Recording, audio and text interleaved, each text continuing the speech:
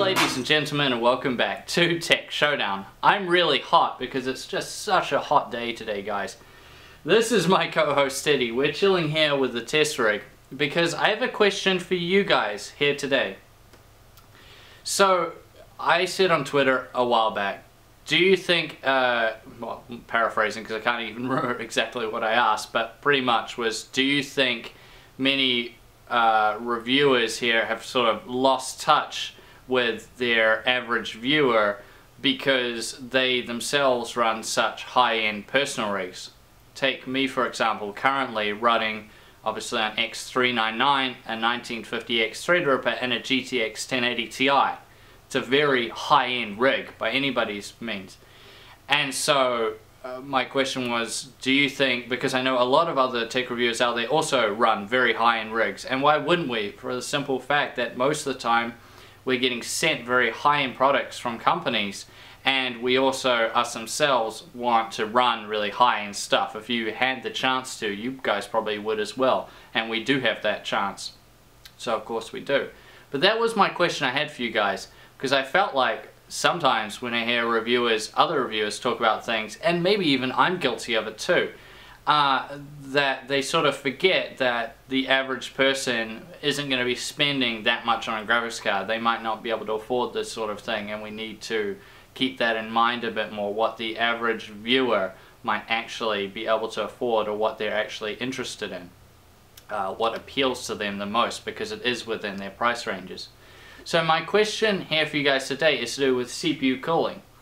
And I'm also touching on this because this is another area where I think uh, some tech reviewers have gone a little bit over the top. And that is because when they do a CPU test, they will test the CPUs with very, very high-end coolers on them. You know, 240 millimeter liquid coolers, 280 millimeter liquid coolers.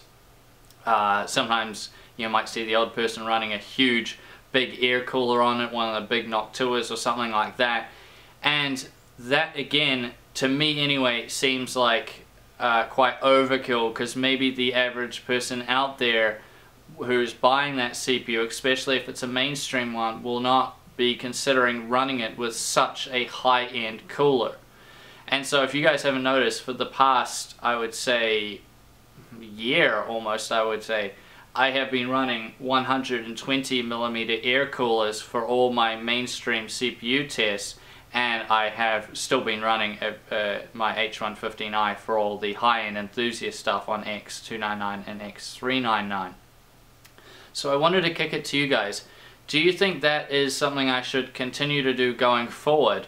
Is, you know, using say 120 millimeter air coolers for my mainstream testing and a big you know, liquid cooler for my enthusiast high-end testing, or do you think I should, you know, do it a bit differently? Uh, I want to know what you guys think. Well, let me know what you guys are currently running, what CPU cooler you run, and, you know, what CPU, and if you have overclocked it or not.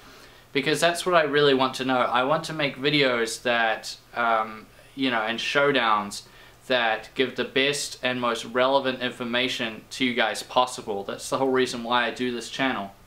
And so with running a 120 millimeter air cooler, which to me seemed like a, a nice average of what you guys may be running because uh, these are obviously quite affordable for the most part anyways and a lot of people see them as sort of good value for money. You get good cooling for the amount you pay in terms of the 120 millimeter air coolers. So let me know in the comment section down below because this, this is something I want to know going forward um, obviously so I can now before I do any more uh, CPU showdowns because I'm probably going to be doing a lot this year with all these new CPUs coming out uh, I can obviously get all those coolers ready and prepared for it so then um, I can obviously do those showdowns as best as I can. So let me know if you guys, what, what CPU cooler you think in general, just be generic, doesn't need to be a specific one, but sort of what type you think I should be running. And it doesn't need to be one for all, I'm not meaning like a 120 millimeter air cooler and I'm supposed to use it for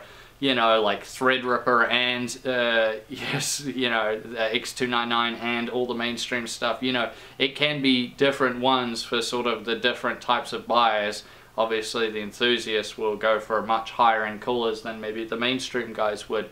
but that's just why I wanted to make this video because I wanted to kick it to you guys uh, to ask which one you thought was sort of the best middle ground one that I could use going forward. Now I thank you all for watching this video. Please subscribe to Tech Showdown if you haven't already and like the video. And as always, I see you guys next time.